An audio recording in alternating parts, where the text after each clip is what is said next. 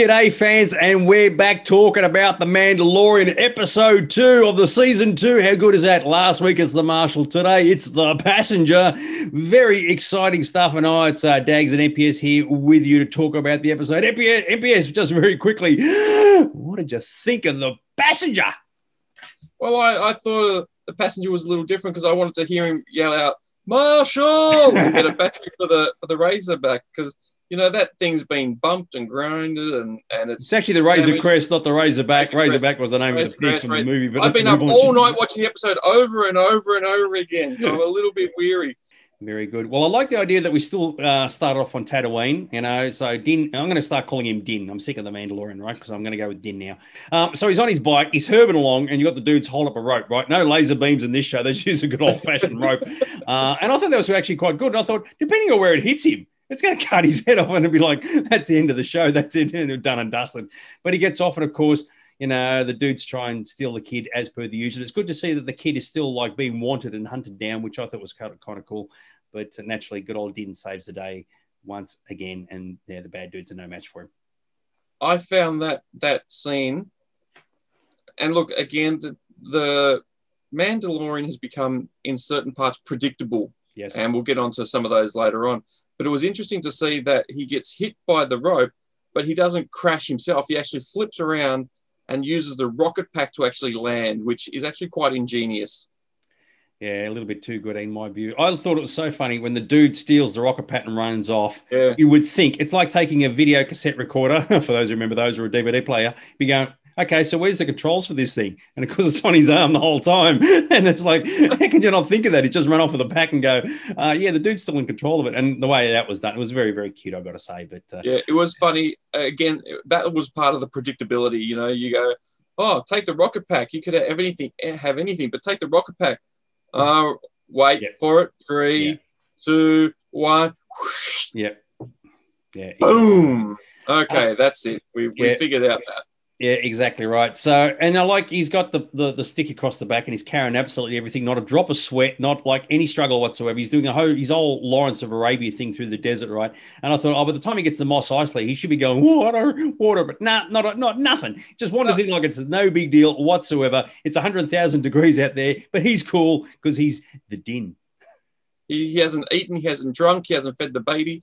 Um, and look, the other thing too about that little scene, and I do love the child's reactions to certain things. There's a couple of Yeah. cute ones here. Is when the he's walking with the, the child, and the after he you know does the rocket pack thing with that that dude, um, the child looks at him like, "Really? Did you have to do that?" And it's like, "Yeah, why not? You know, of course. That's that's, that's yeah, the well, way." unlike the last episode, the child got stacks of screen time. We'll discuss this a bit later on. And it's like they've obviously said, now chuck it in the kid. You know, we didn't get enough for kid the first episode. You need to have a kiddo meter. How many how many minutes of screen time does a kid have? um, so we get into Mos Eisley, which I thought, excuse me, was very good. Staying in the cantina. Off to see Peli Motto again, who I believe is sitting in Han's alcove from A New Hope. I thought that was actually very, very cool, and including his seat as well. Um, she's playing sabacc against Dr. Mandible. Mandible, the insect, now has a name. Uh, and she calls out an idiot's array. And of course, that is a really nice link back to Rebels because uh, in sabacc, you have what they call an idiot's array, which makes you win the game. It wasn't mentioned in the solo movie, but it was mentioned in Rebels. And I personally had a bit of a, oh, look at how good is that. So that was a nice little moment. So, um, there you go. And in the background, if you notice who's serving the bar is an E EV9D9 droid. And I thought, oh, maybe it's another model, not exactly the same one, but apparently it's exactly the same one from Jabba's Palace, E EV9D9. Funny that droids are now serving in the bar where once upon a time they weren't allowed in the bar at all. So that's Yeah. shows you how times have changed. So there you go. well, that's only been in the show's Yeah, history. five years. That's only a, a no a ten year timeline because Oh, remember when they walked into into the canteen in, the, in a New Hope? Yeah. That was about ten years ago. So yeah, the times they are a, a, a droiding, if you like, I guess. Yeah.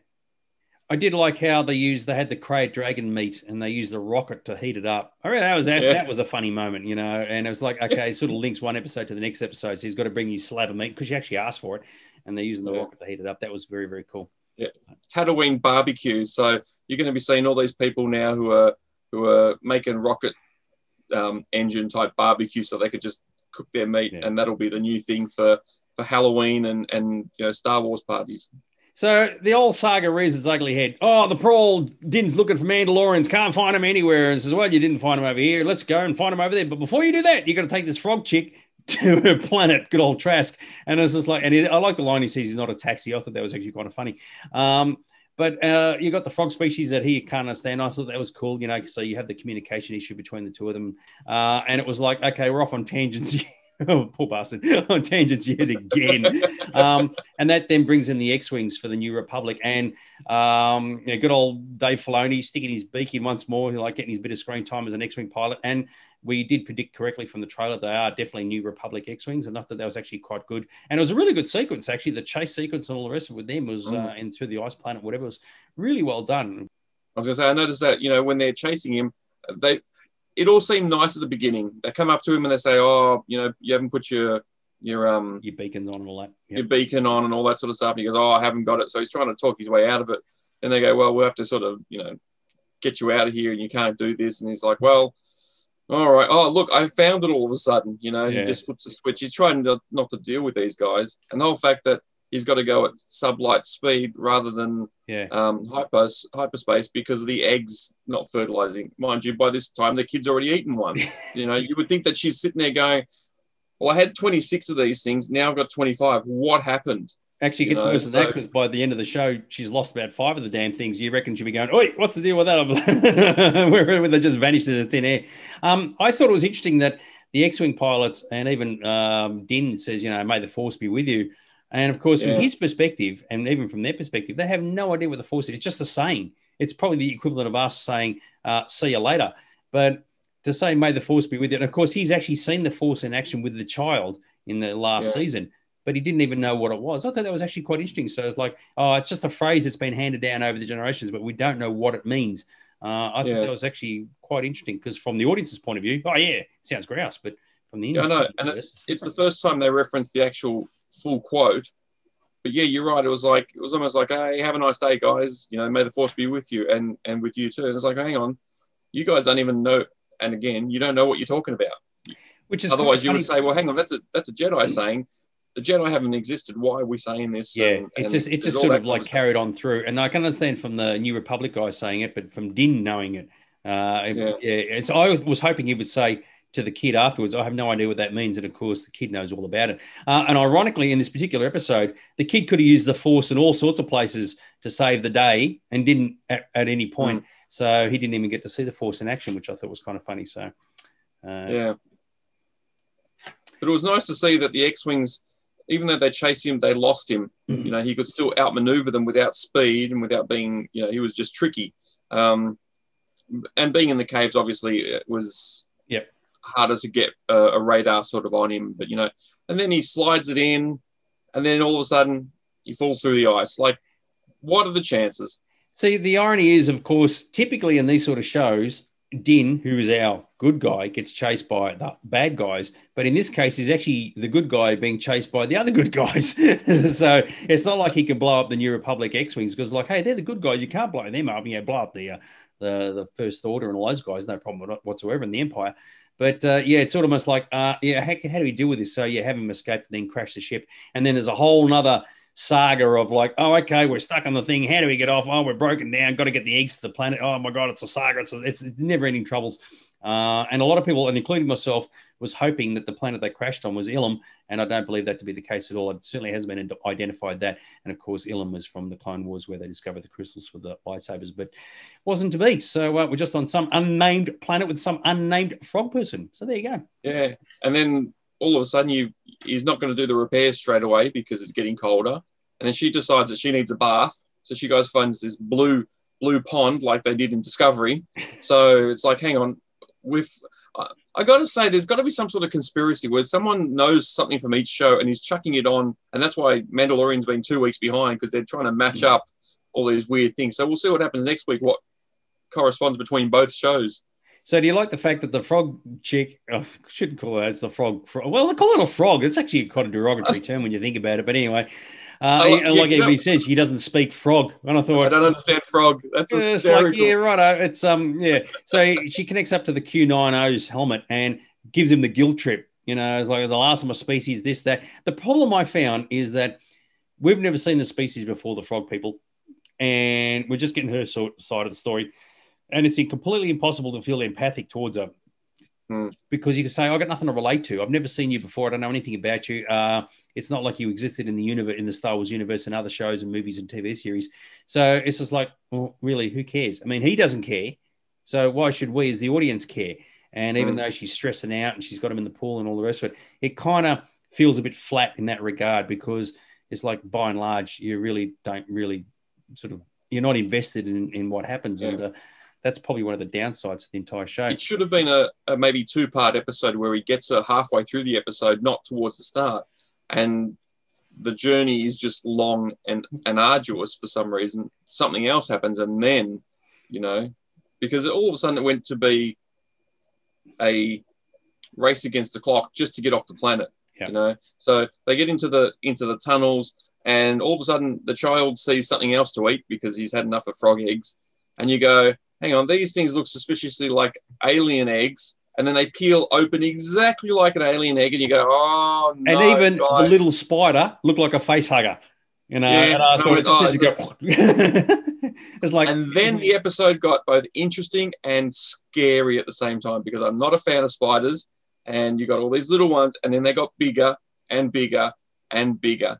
The fact that it was gross that the child was eating all these spiders, I think he had like two or three before they all sort of woke up, and then the child realized, oh crap, we're in trouble now, and uh, he the the running that he did, that little bit of run that you could see, was very very cute. yeah, that was the thing. The child got a lot of really good screen time, and of course, it's eating the eggs. You know, it's, it's kind of funny. You sort of think you just want to do the old, you know, like Sylvester the cat, you know, bad, bad, bad, and get the Tweety bird out. But that's how it, it sort of felt. But of course, he's just so cute. You go, you know, have a few more, whatever it is. And of course, clearly that kid's got a big appetite. You know, just munching on these eggs and says, "Oh, I'll just chat, chat out on a face hugger or two. And uh, and of course. Uh, and because it doesn't use the force to save the day, even though the thing's like, hey, it's on, it's on his head and everything. That was, yeah, you, got to laugh, you know, it's, it's very, very cute. Um, I thought as soon as the big spider turned up, the, the, the mother or the granddaddy of them all it reminded me of Shelob from Lord of the Rings. For those who remember the Lord of the Rings series, just bigger, you know, they just get bigger and bigger as they go along. Um, and I thought, you get to see the frog mother sort of running on all fours, which I thought was uh, kind of cool. And you must admit, when they were inside the Razor Crest, inside the bridge, and like like they're stuck in there, you were thinking, I was thinking, how are they going to get out of this? That's a cliffhanger ending right there. How are they going to get out of this one? And uh, and of course, yeah, it was the X-wing guys who saved the day, as is the Well, case. it was it was funny because the two the two big feet of the I think it's a second spider go through the the windscreen, Mm. and you go, that's pretty damn impressive. And you kind of screwed there, Mando. You're sort of sitting there, and you're going to get more than a ding on your helmet this time. and all of a sudden, this red laser fire comes along, and you go, all right, so the X-wings have come down. Next thing you know, it's not just them; it, they're sharpshooting these things yeah, and they're sharpshooting all the small ones as well. It's not Yeah. like they're missing. Imagine a, you know a couple of stormtroopers there. They'd be like you know spider shot, shot, Yeah. shot, shot, shot, shot. But these guys were sharpshooters to the max. They were nailing every Yeah. single one of them, every single shot. So uh, I thought that was impressive. yeah, it was a little bit of a get out of jail free card uh, moment, wasn't it? eh? And of course, it all happens outside the ship, so the, the the production company saved a hell of a lot of money not having to show any of this stuff happening. They're just seeing all the red flashes from outside, and you go, oh, okay. I wonder who's out there saving the day. Oh, look, it's the X-wing guys. What are the chances of that? We didn't hear them land or anything, but hey, there they are. How good is that? Um, and I thought the fan that bit that I found funny is like, okay, they've, they've turned up. And Din is having a chat to them, saying, "Hey, can you help me out here? I need to get my ship fixed." And the guys say, "No, you're on your own now. We're just going to nick off." Go, what was the point of that? It's like if you just help the dude, then why don't you go the extra mile and sort of like, yeah, we'll fix you up, and then you come back to, you know, come back to the local uh, law enforcement office with us. But instead, they've just said, no, you're on your own, and, and just nick off. And I just that was a bit bit of a cop out. I thought it's like, oh, yeah, I didn't. Uh.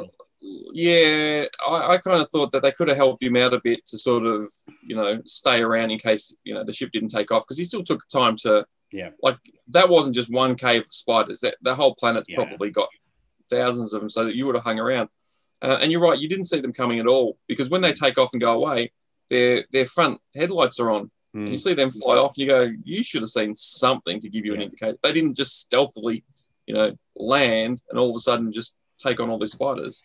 Yeah, it was a bit, uh, a little bit too convenient, and um, the timing was um, quite good. And of course, when the spider's on top of the ship, that's from a, like old classic science fiction movies. Uh, oh, we're trying to take off, and there's a big alien on top of us. Oh my god, how are we going to get out of this? So, uh, yeah, very, very, very cool. But uh, there you go. That was um, yeah, good stuff. And of course, his Prowl ship, the Razor Crest, is looking a bit busted up as it limps over to Trask, where it's got to go to drop the uh, the frog off. So I reckon that'll continue on to the start of the next episode. So uh, there you go. What do you yeah. reckon?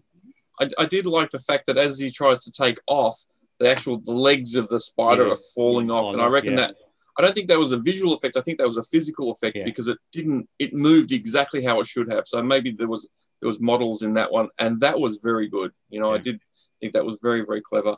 Yeah, exactly right. So there you go. So any final thoughts before we rate? Do have to rate the episode out of the five helmets. So uh, what do you got for us, MPS? I love the fact that um, the child pushes his face up against the, the jar with the eggs in it at one point, and he squishes his little nose. Oh, it was it was a 10 plus on the cute factor for the whole episode. Um, other than that, I would give that episode, believe it or not, even though I don't speak frog, uh, a 4.5 helmets. Oh, yeah. Look at that. Take that. Geez, we have got a serious disconnect between you and me. I tell you what. So, oh, four and a I, half. You so you actually rated it better than last week's episode. Yeah, well, this this had a bit more the spiders, because I don't like spiders and all that sort of stuff, had me on the edge of the seat going, how are they going to get out, out of this? You know, what's actually going to happen? And do they kill them all? Because the, the intensity of the fact that they got into the ship, you know, because there was no door, and then they're getting into the to the cockpit and all that sort of stuff, it just gave you a bit more, oh crap, this could get ugly. So that's why I gave it a four and a half. Wow, very good. Well, I'm the opposite. I struggled and I will use the word struggle to give it two and a half. Uh, and the reason was Ooh. that to me, it was just another monster of the week episode. Uh, I found it was just filler.